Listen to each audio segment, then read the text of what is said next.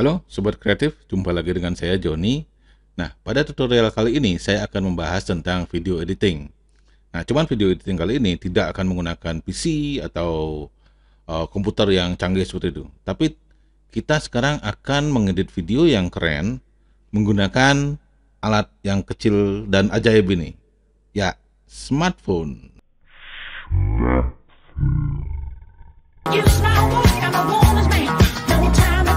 Ya, mantap.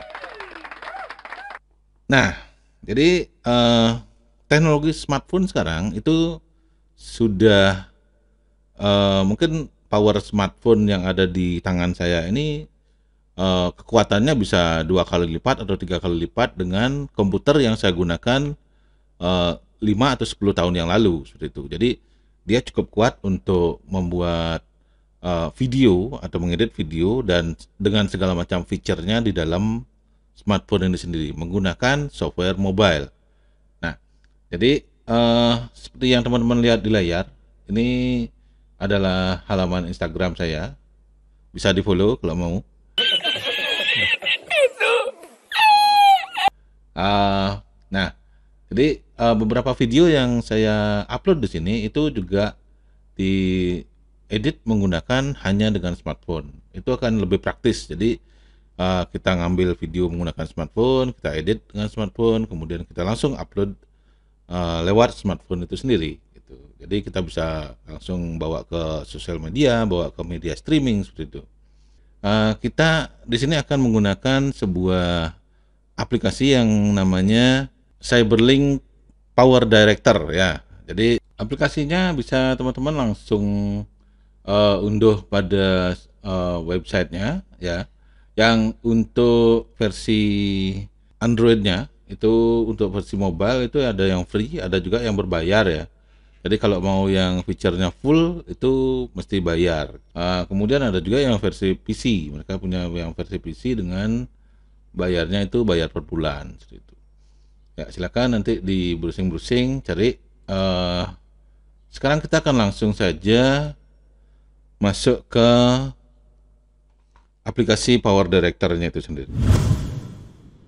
Baik, jadi pada layar teman-teman sudah lihat uh, mirror dari tampilan uh, smartphone saya. Jadi di sini saya akan klik Power Director. Jadi kita sudah masuk ke aplikasi Power Director itu. Nah, di sini yang pertama yang perlu kita lakukan adalah membuat sebuah project dulu ya. Jadi klik uh, kotak biru yang ada di tengah ini. Kemudian projectnya kita namakan misalnya apa tutorial. Oke. Kemudian setelah itu klik uh, centang dan uh, kita pilih aspek rasionya ya. Aspek rasionya uh, ada yang landscape, ada yang portrait.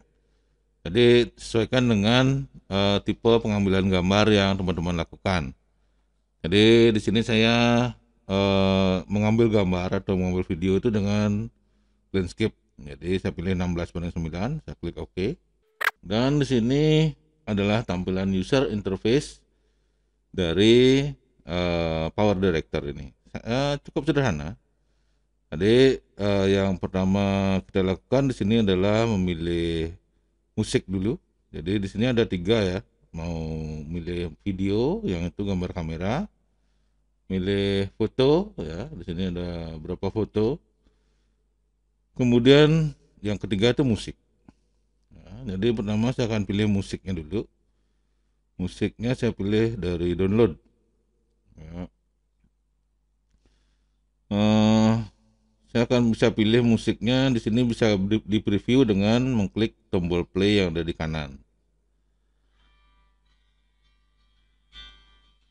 suaranya. Oke, jadi itu uh, saya akan pilih musik yang judulnya Wood itu. Nah, caranya tinggal diklik aja judulnya, kemudian di sini akan muncul tanda plus. Ya, klik plusnya itu. Dan di sini dia sudah langsung muncul di uh, timelinenya yang kita sudah buat ini.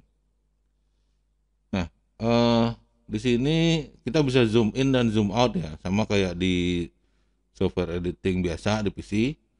Jadi tapi zoom innya nggak ada tombolnya, kita pakai dua jari. Jadi kalau kita klik dan uh, swipe ke luar gitu, dia akan zoom in.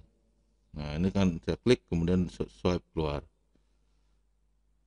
Oke, kalau mau uh, zoom out ya biar kelihatan semuanya biar di itu di pinch. Jadi klik untuk kemudian giniin dua-dua jarinya.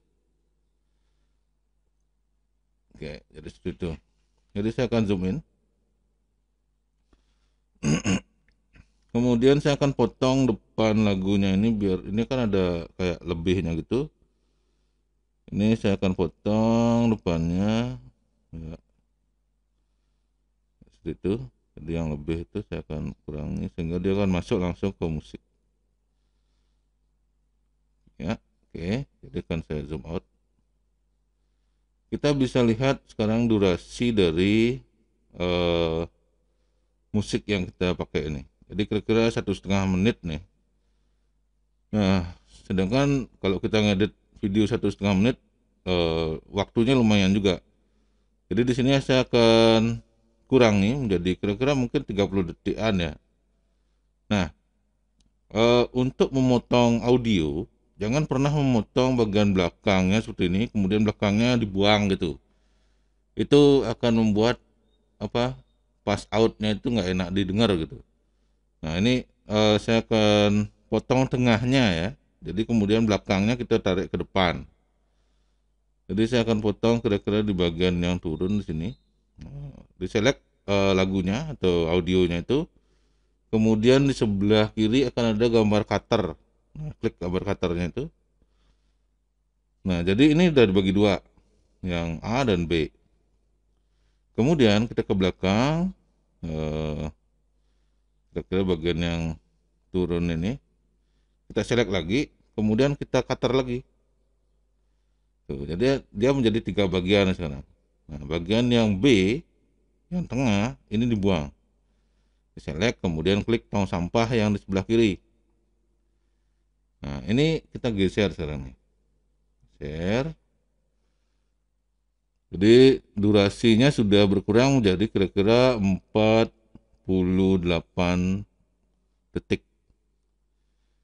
Kita bisa cek uh, sambungan antara dua bagian itu apakah dia nyambung apa enggak. Biasanya ketika kita potong tengahnya pasti ada kan ada anehnya sih. Ya. Jadi not bad.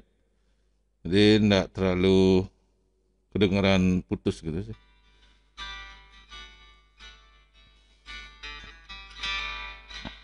Ya oke. Okay. uh, eh, saya nggak tahu apakah di Power Director ini ada um, fasilitas untuk membuat crossfade antara dua audio itu apa enggak ya? Kalau teman-teman yang tahu mungkin bisa komen di bawah kalau sejauh yang saya cari-cari nggak ada. Soalnya kalau di Premiere itu biasanya ada kayak audio transition gitu. Jadi antara musik A dan B itu kita bisa bikin transisi kayak crossfade gitu. Jadi perpindahannya jadi lebih halus itu. Tapi entah kenapa saya nggak nemu di sini. Ya, bagi teman-teman yang tahu mungkin bisa komen ya. Uh, mungkin saya miss ada sesuatu yang saya lewatkan. Sorry. Nah, anyway. Jadi di sini saya akan masukkan videonya sekarang. Jadi saya akan klik uh, add video yang sebelah uh, kiri atas bawahnya panah itu. Kemudian saya pilih video ya, yang gambar kamera, kemudian saya pilih kamera. Nah, di sini ada beberapa footage yang sudah saya ambil sebelumnya. Atau sebelum saya masukkan uh, footage video ini saya akan masukkan warna hitam aja dulu. Jadi tujuannya agar dia di awal tuh langsung muncul gambar gitu. Jadi awalnya blank hitam dulu habis itu smooth keluar baru keluar gambar seperti itu. Uh, jadi saya akan back kemudian saya klik uh, di sini color board ya. Sudah ada color board kemudian pilih warna hitam itu yang 000 dan klik plusnya. Oke, saya zoom in. ada notifikasi. Ya, oke. Uh, ini sekarang saya akan um, potong sedurasi satu detik mungkin. Kok tahu satu detik pak? Nah ini di atasnya kalau kita klik dan drag ujungnya ini di atasnya bakalan muncul kayak ada kotak biru itu nah itu adalah total durasi klip yang kita punya. Jadi yang hitam ini saya potong sedurasi satu detik saja. Kemudian baru saya masukkan videonya sekarang nih. Video saya pilih kamera. Kemudian saya ambil gambar gundam ini. Oke. Uh, untuk melanjutkan kita klik play boleh atau klik di luar juga boleh. Nah ini saya akan potong pada saat uh, picking lagunya ya nah ya ini ini juga belum smooth ya perpindahannya antara hitam ke gambar Gundam ini. Jadi biar halus masuknya, bisa di sini ada kayak uh, kotak kecil yang ada gambar petirnya itu diklik. Kemudian di sini akan muncul beberapa uh, transisi yang sudah dikasih sama Power Director. Saya akan pilih blur, saya klik plusnya. Jadi kalau saya klik di luar, kemudian saya geser, saya akan play. Iya, seperti itu. Jadi uh, munculnya dia halus.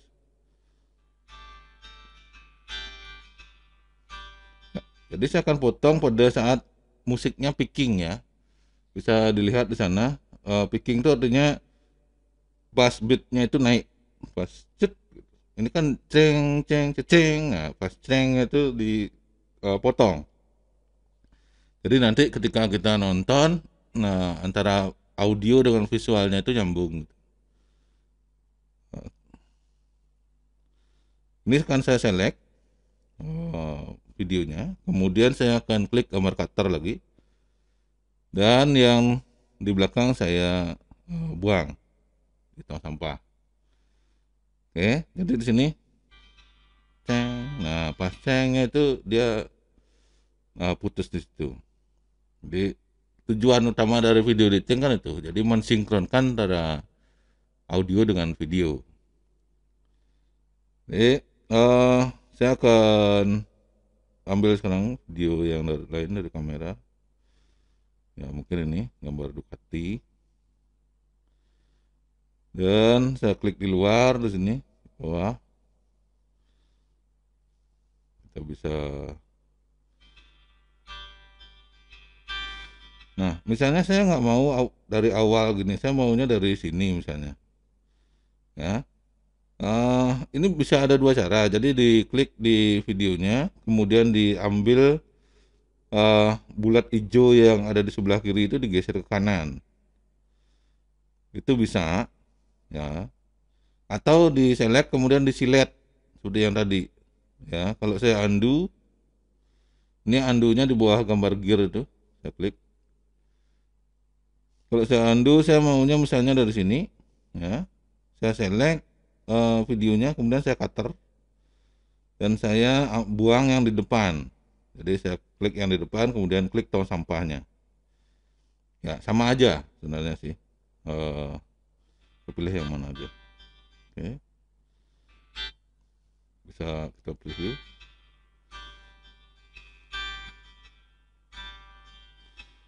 ya di sini cerengnya di sini. Cereng.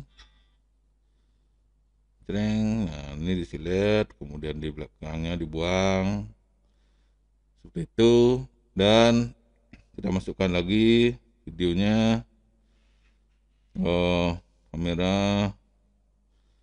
Sekarang mungkin gambar yang ini. Ya, klik di bawah. Ya, videonya boleh. Ya saya mulainya dari sini. Ini bisa saya potong. Kemudian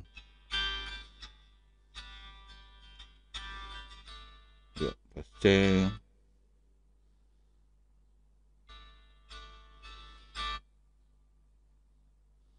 strengnya di sini. Tong dan kita delete.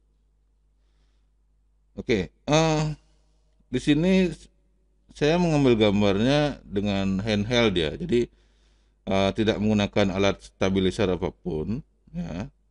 Jadi uh, walaupun ini saya ambil menggunakan uh, slow motion ya tapi tetap aja ada beberapa area yang goyang ya. Jadi mungkin karena saya nafas atau pada saat uh, ngambil tangannya nggak stabil seperti itu. Nah di sini ada uh, fasilitas untuk menstabilkan footage atau gerakan uh, klip yang kita ambil. Jadi misalnya ini pada saat kita menggundamnya nah ada sedikit sedikit sekali di sini belakang ada zit gitu di ke, uh, ke bawah.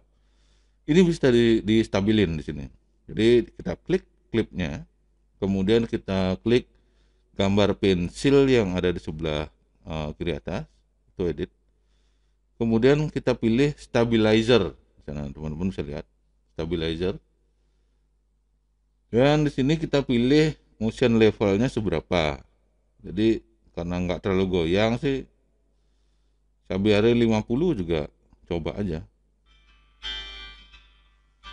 Nah di sana. Jadi tidak udah nggak ada lagi goyangnya yang dikit gitu. Udah habis itu di back. Ya. Tuh jadi stabil banget jadi yang tadinya agak ada turun dikit gitu itu distabilin teman-teman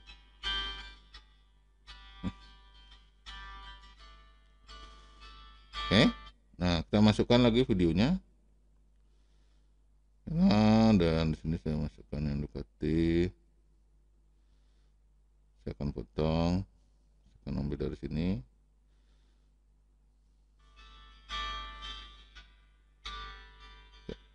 Ya, di sini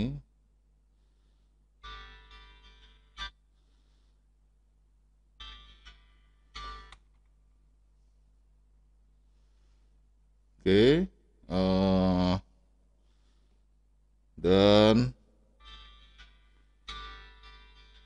strengnya saya akan klik dan saya select dan saya delete. Ya, jadi uh, untuk mempercepat saya akan fast forward aja uh, agar tidak terlalu lama juga. Jadi saya akan fast forward di sini.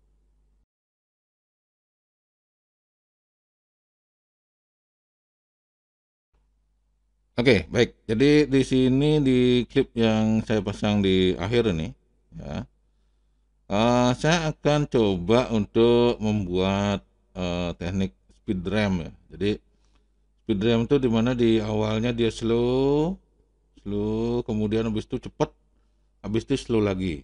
Nah, ini bisa seperti itu. Nah, jadi caranya dengan yang ini uh, aslinya ini kan speednya slow ya. Nah, ini slow banget. Nah, tapi setelah slow itu saya mau percepat uh, durasinya, kemudian uh, speednya, sorry, speednya saya akan percepat, kemudian setelah itu dia slow lagi, ya, kayak slow in, slow out gitu. Jadi caranya kita select klipnya yang mau dibuat efek itu, kemudian pertama kita akan tentukan di mana dia mulai cepatnya, misalnya di sini, saya mau mulai cepat di sini. Kemudian saya select dan saya cut di situ Nah, jadi di, terbagi dua sudah. Kemudian saya akan geser dan nah, di sini di sini mungkin saya cut belakangnya ya. Ini kan saya cut, saya buang belakangnya. Nah, di bagian sini saya mulai dia mau slow lagi bagian sini nih. Jadi saya akan cut. Ya, jadi uh, terbagi menjadi tiga bagian A, B, dan C. Nah, bagian yang tengah yang B kita akan select kemudian kita klik gambar uh, pensil ini nah, kemudian teman-teman bisa lihat di sana ada option speed ya yang ada kayak uh, speedometer itu. Saya klik itu speed. Kemudian speednya ini saya akan geser uh, parameter yang paling kiri ya slider yang paling kiri itu kan saya geser. Nah ini dua kali berarti speednya dua kali lipat. Ya itu dua kali empat kali. Ya hmm, paling cepat empat delapan kali kayaknya. Ya coba empat kali deh. Atau kita pakai delapan kali. Ya ya jadi seperti itu. Uh, di sini dia pas di sini dia jreng nah, cepat. Habis itu slow lagi. Ya di sini pas jreng terakhir ini akan saya kasih uh, transisi ke hitam. Jadi di sini saya akan uh, potong dikit. Nah, kemudian saya masukkan lagi video color board yang berwarna hitam terakhir. Oke ini mungkin saya akan pendekin dan musiknya pun saya akan pendekin. Sehingga durasinya cuma 33 detik ya. Kemudian di sini seperti tadi sama di transisinya saya akan masukkan blur. Oke jadi kita bisa ya tuh jadi terakhirnya itu smooth ya halus. Ini juga saya pendekin dah. Ya. Iya seperti itu oke. Nah kemudian langkah selanjutnya saya akan membuat efek warna ya. Apa namanya? Uh, color grading istilahnya. Jadi saya akan select clip per clip. Jadi color gradingnya sayangnya di sini nggak kayak di Premiere ya yang bisa kita buat adjustment layer kemudian kita color grading satu yang lain ngikut gitu. Ini nggak ada. Atau ada saya nggak tahu. Mungkin kalau teman-teman yang tahu caranya membuat adjustment layer di sini uh, boleh komen di bawah silakan. Uh, jadi di sini yang saya tahunya adalah dia masukkan klip per klip jadi kita klik klip yang satu uh, kemudian klip gambar pensil itu edit. Kemudian di sana pilihannya adalah color color dan kita pilih kalau saya biasanya pakai nih artistik ini. Kemudian yang saya suka itu crescent. Itu tampilannya kayak film.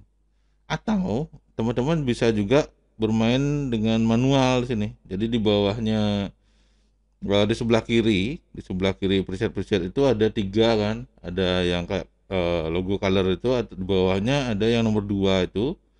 Itu untuk manual setting saya klik yang nomor dua.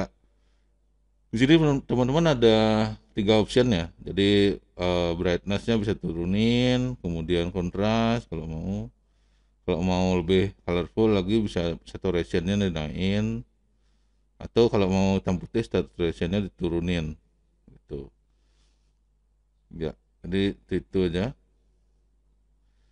Kemudian kalau mau kontras ini tapi saya nggak suka. Biasanya saya sukanya yang low kontras saja. Jadi uh, detail antara highlight dan shadownya nggak terlalu berbeda. Jadi nggak ada loss detail. Udah habis itu kalau udah selesai uh, klik back bisa klik play juga bisa. Klik saya klik back.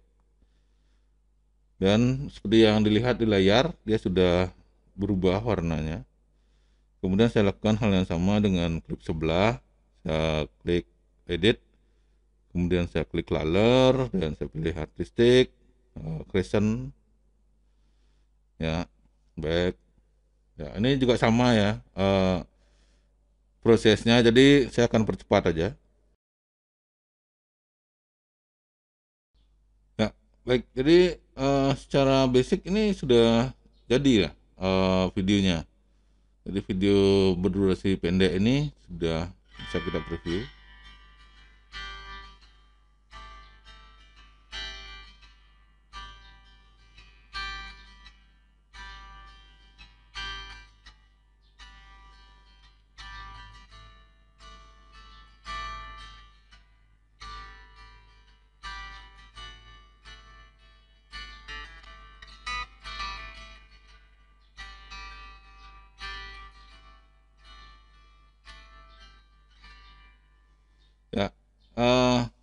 bisa teman-teman lihat tadi previewnya nyaris tanpa lag dan yang lag cuman hanya di efek uh, speednya aja.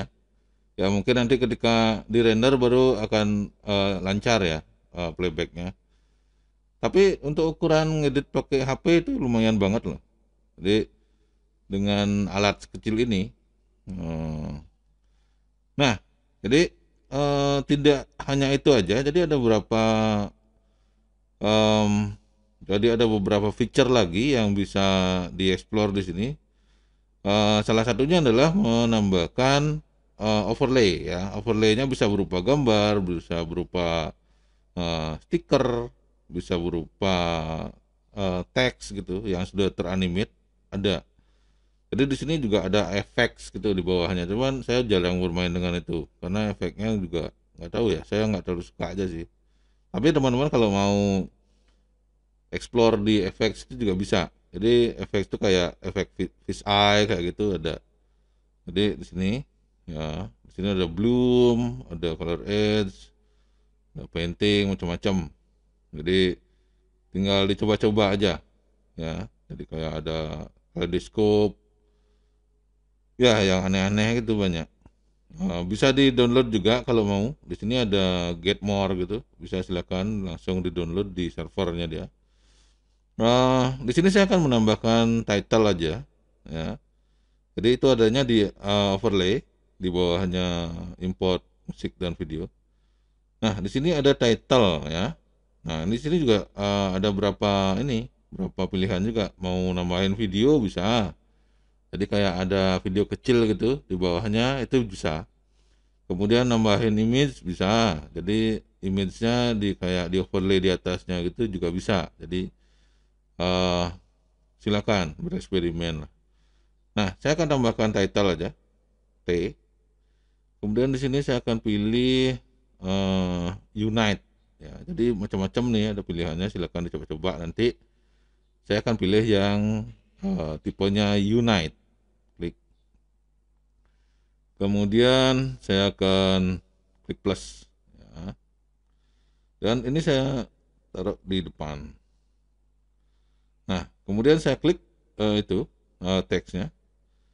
Kalau mau merubah tulisannya, ini kita klik tulisan power director itu dan saya akan hapus tentunya saya akan uh, tulis apa ya my workstation.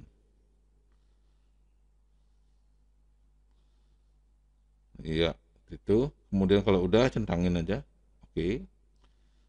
Dan kalau mau ngerubah formatnya bisa diklik uh, tulisan T yang ada di pojok kiri uh, kanan atas T. Iya. Jadi ada pilihannya muncul. Nah, fontnya bisa diganti mau ditambahin shadow tambahin out, outline border tambahin atau standar aja kayak gini. Uh, mau rata tengah rata uh, kanan rata teng uh, kiri bisa. Mau bold atau italic ya, italic atau bold bisa. Uh, saya akan ubah fontnya. Saya akan pilih yang nah ini ada beberapa yang merah-merah ini harus di download dulu baru bisa pakai uh, saya akan pilih Hetilika yang ini udah ada nih jadi nggak perlu download. Ya dan itu warnanya juga mau diganti juga terserah. Mau merah mau kuning atau bisa dipilih di bawah gini. Saya pilih yang putih aja deh. Dan udah. Tinggal diklik aja di luar. Kita bisa preview sekarang. Iya. Seperti itu dia teranimate secara otomatis. Jadi sudah templatesnya si uh, power director gitu. Nah jadi saya sudah oke okay dengan hasilnya ini. Tinggal sekarang saya render ya. Uh, untuk ngerender itu tinggal teman-teman klik icon yang ada kayak roll film yang paling kanan atas. Uh, di sana ada pilihan save project. Ya, di save aja dulu biar aman. Kemudian klik lagi uh, bawahnya pilih sekarang produce video. Produce video kemudian uh, di sana ada pilihannya mau langsung di share ke Facebook, di YouTube, atau dibawa ke mana aja bisa atau disimpan dulu ke HP ya. Jadi saya pilih yang paling kiri save to gallery or SD card. Nah di sini juga ada pilihannya lagi nih mau uh, Ultra HD ya 4K Full HD atau HD 720p atau yang paling kecil itu yang 360p saya pilih yang Full HD saja. Karena uh, Ultra HD atau 4K juga nggak ngaruh sih. Bisa bisa di render ke 4K juga bisa. Tapi tidak saya sarankan karena memang berat dan juga kalau dibawa ke sosial media gitu nggak ada pengaruhnya sih. Full HD itu udah bagus habis itu saya produce hmm, klik produce dan di sini bisa teman-teman lihat progres dari renderingnya ya dan itu lumayan cepat karena memang pertama itu kita tidak terlalu banyak efek. Kemudian yang kedua, durasi video yang kita edit itu cukup singkat, yaitu 30 detik saja. Jadi durasi rendernya pun akan menyesuaikan dengan itu. Kemudian yang terakhir ya spek HP-nya juga sih berpengaruh pasti. Jadi kalau spek HP-nya RAM-nya yang ini um, HP saya ini RAM-nya kalau nggak salah 3 GB atau 4 GB ya. Jadi itu juga berpengaruh ya ke kecepatan render. Uh, ya oke. Okay. Jadi dengan uh, lama 30 detik kira-kira dia memerlukan waktu maybe semenit lah untuk render. Nggak sampai sih kayaknya semenit tadi itu. Ah kemudian saya klik OK dan sekarang kita akan langsung cek hasilnya di sini.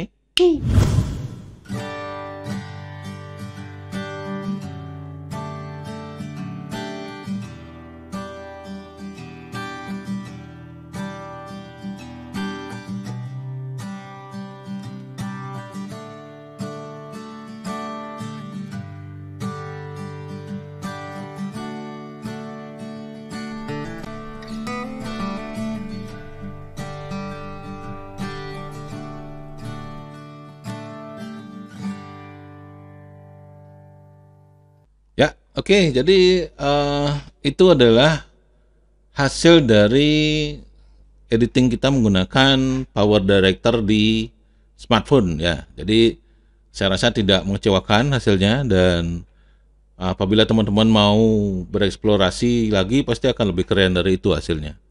Oke, uh, jadi tutorialnya saya cukupkan dulu sampai di sini. Lumayan lama juga nih udah 20 menitan. Jadi selamat mencoba dan semoga tutorialnya bermanfaat. Sampai jumpa lagi pada tutorial berikutnya. Salam kreatif.